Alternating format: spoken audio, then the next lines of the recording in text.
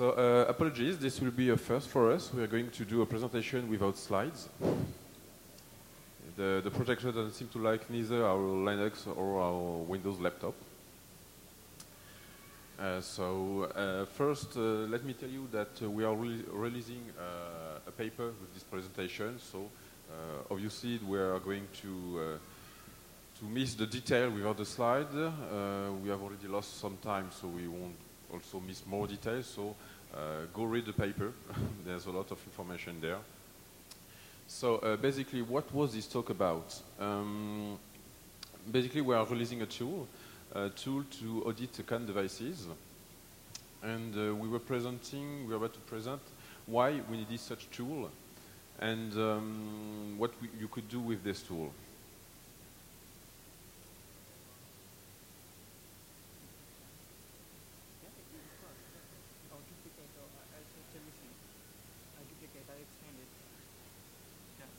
Okay, okay. Um, the very idea of, uh, of this tool is uh, to um, to come up with uh, the, the one particular fact. When you want to edit a, a protocol, uh, you have two options.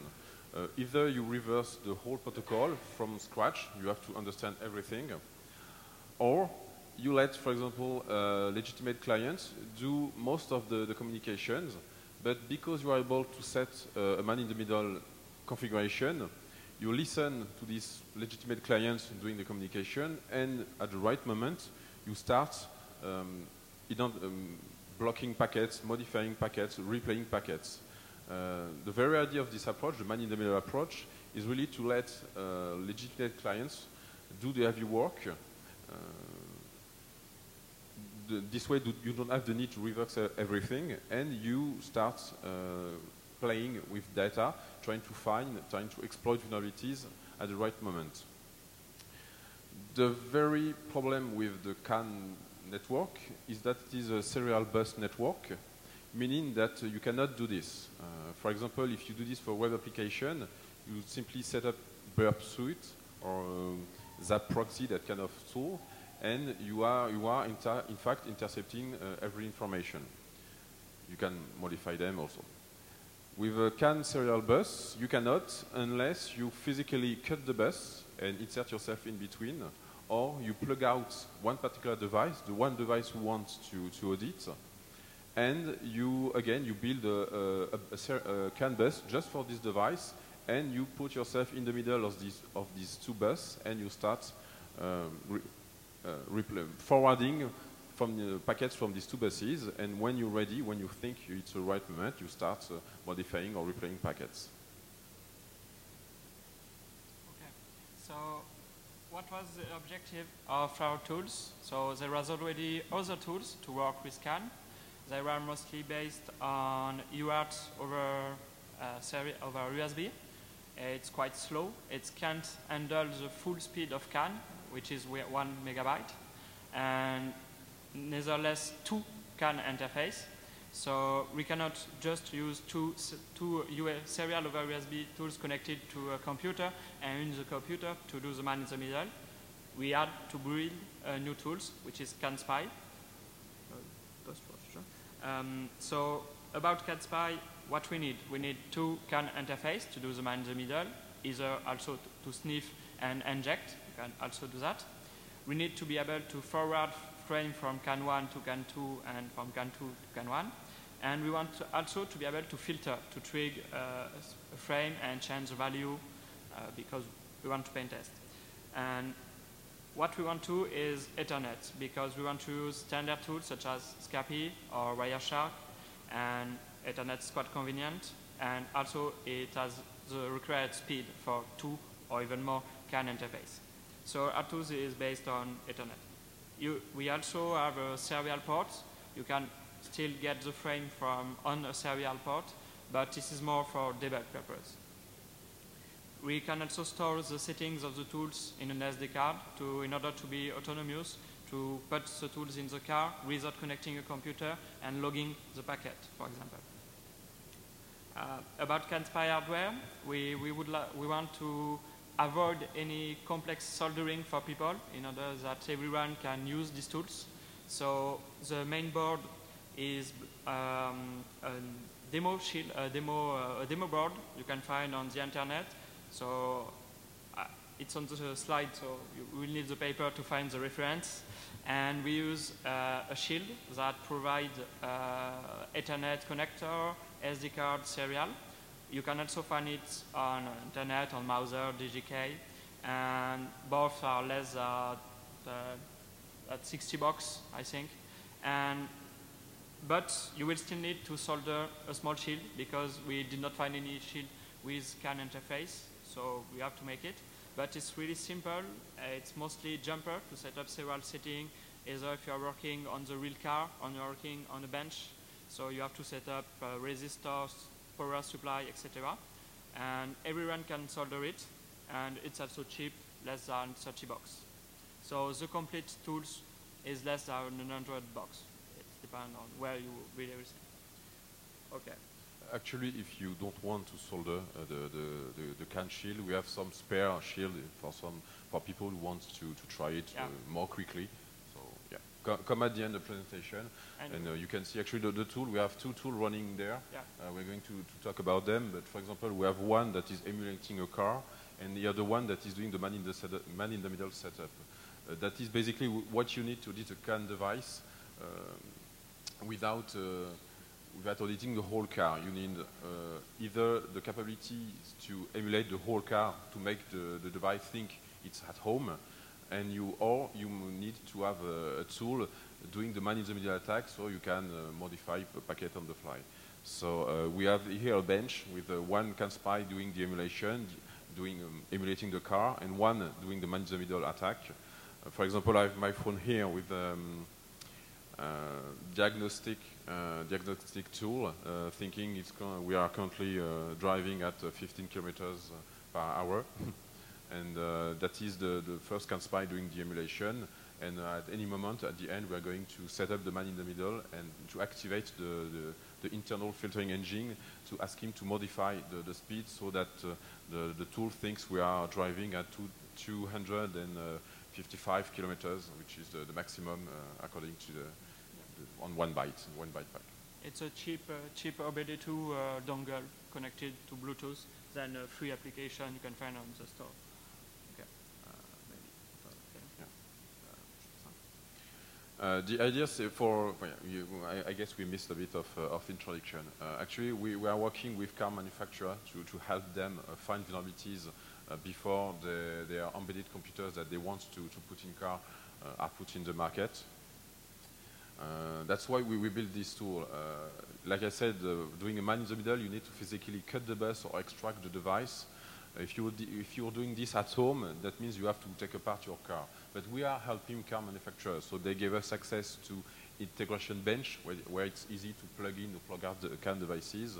Uh, they can give us specifications, so we can build the, the car emulation software uh, quite easily.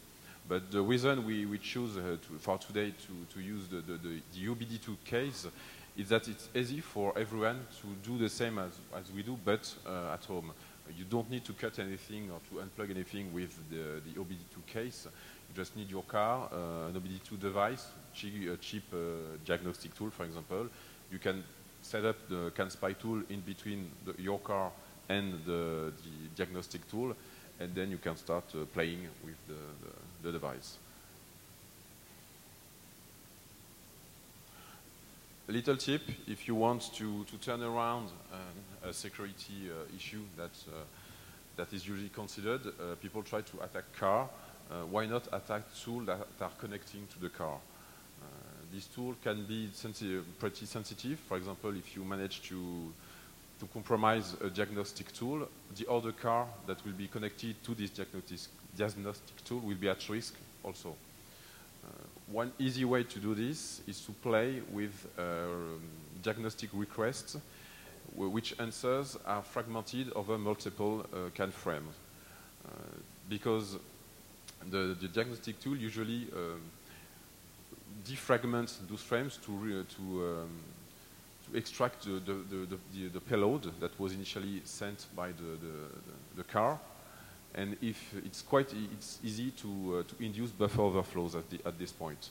Uh, tools always uh, expect the car to be compliant with the norm, which is true. I've never found a car that was not compliant with the norm. But if you put your a man-in-the-middle device at this point and force, for example, the vehicle identification number, which is uh, 17 ASCII characters long, to be uh, up to 40,000 characters, you will induce a buffer overflow that can be exploited uh, pretty much like any buffer overflow. Yeah, just an obvious information, but everything is open source and open hardware. You can find it on our Bitbucket. You will uh, have to search on Google. Um, the firmware has been designed in order to simplify uh, adding new function, new functionality, because uh, maybe you want to add new function on the shell. For example, we have a, a serial shell with it's used to change and manage settings, but you can want to add a new functionality. So when designing the firmware, we really think uh, how we can add new function. A little, a little word about the, the, this firmware. Uh, as you may have understood without the slides, we have two CAN devices. Uh, did we talk? Okay. We have two kind of devices, one Ethernet device, one UART device, one SD card driver. Um, in order to never miss a frame, that, that's really the, the, our goal. Uh, we want to forward uh, the full data rate, of, uh, that means up to one megabit per second from two CAN buses. We want to forward frames between the two without dropping a frame. So we had to design the firmware using real-time techniques to, to achieve this goal. Uh, if you uh, add new uh, functionalities to the, to the tool while complying with our ab abstraction layer, you can add functionalities and be sure that you will not impair the real-time properties of, of our tool. so we, we skip a large part of the talk where we was talking about CAN architecture, but without slide it will not be uh, possible to explain, I think. So we can try. Yeah. So let's try. Yeah, let's try. So a few words about CAN architecture. So what you can find in a car. So the most basic one is one single bus with every ECU. So ECU is a, um, electronic control unit. So in your car you have up to 70 uh, control unit for controlling the dashboard, the brakes, the engine, etc. They are all connected and if we think of the most basic architecture, this is just one bus and everything connected. So as you can imagine, we will have congestion issue because if everyone is talking at the same time, no one, someone cannot talk. So the mechanism is based on ID priority to select which frame will be sent if two ECU are talking in the same time. The lowest uh, ID is the most priority, the highest priority, sorry. Um, but as you can imagine, uh, an ECU that have a really low priority will never talk. So it's in a most advanced architecture and recent car, you have several buses. So um, another point of having separate bus buses is to try to segment, for example, with one bus for the entertainment, the navigation, and one bus for the engine and the brake. So this was more thinking for safety than for security, but it's still good for security. You can have, again, two possibilities. There are two buses with ECU on each bus, and ECUs that are connected to two buses. For example, for the navigation system, it is related to the entertainment, but it also needs the speed and information from the car. And what we can think as state-of-the-art architecture on modern car is with several buses and gateway between these buses, so like uh, an Ethernet network. And this gateway will filter the message based on their ID, but they can be a little bit smarter and use the state of the vehicle. If the vehicle is stopped, if it's running, if which speed it is running, if the engine is off, etc. And they will allow different ID in function of the state of the car. So we can see that this is something with we can play. The, the, the, the idea is that um, for an attacker, you have first the exposed ECU, for example, navigation system or um, uh, telematic functionalities, you know, using broadband, uh, mobile broadband communications. And once you compromised uh, either of these two type of ECUs, in order to really impact safety, you have to compromise more ECUs. but usually these ECUs will not be on the same bus as the ECU you just compromise. So you need to move from one bus to one uh, to another, and the idea is to compromise uh, an ECU that is either on multiple buses, like the, the first case uh, Arnaud presented, or if you are in a situation where you, you have a central gateway, to compromise this gateway. And that is essentially the, um, the, the, goal behind, behind our tool. Uh, it's not about auditing a navigation system, you know, compromising Bluetooth, Wi-Fi, USB, uh, mobile broadband. It's, uh, it's really for the second line of defense, uh, to audit uh, ECU from the CAN bus. The idea is to craft attack from the CAN bus, not compromise an ECU from Bluetooth, for example, and reach the CAN bus. That is the first step. Uh, it's an important step. We, we, do that step two when we audit uh, ECUs. But really, there's nothing to add here. Uh, I mean, uh, if you want information about Bluetooth penetration testing or Wi-Fi penetration testing, there's already plenty of tools, plenty of uh, literature uh, to, to, exp to, to explain everything. On the broadband too, you can find a lot of data about broadband pen testing. It's not specific to automotive.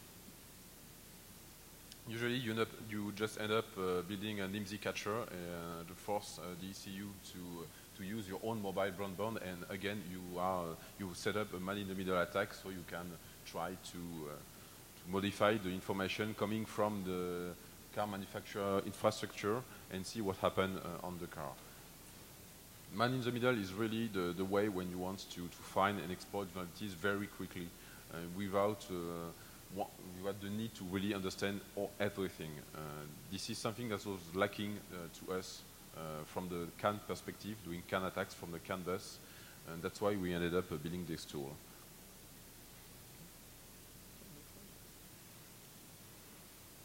I'm just working at the time. Okay. Um, um, do you guys? Is there anyone that has questions?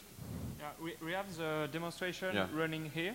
So since we have time, I guess we have. Yeah. Um, you can come and see uh, the demonstration running. We have no camera to show this, and the screen of the phone is not large enough for the, everyone. So.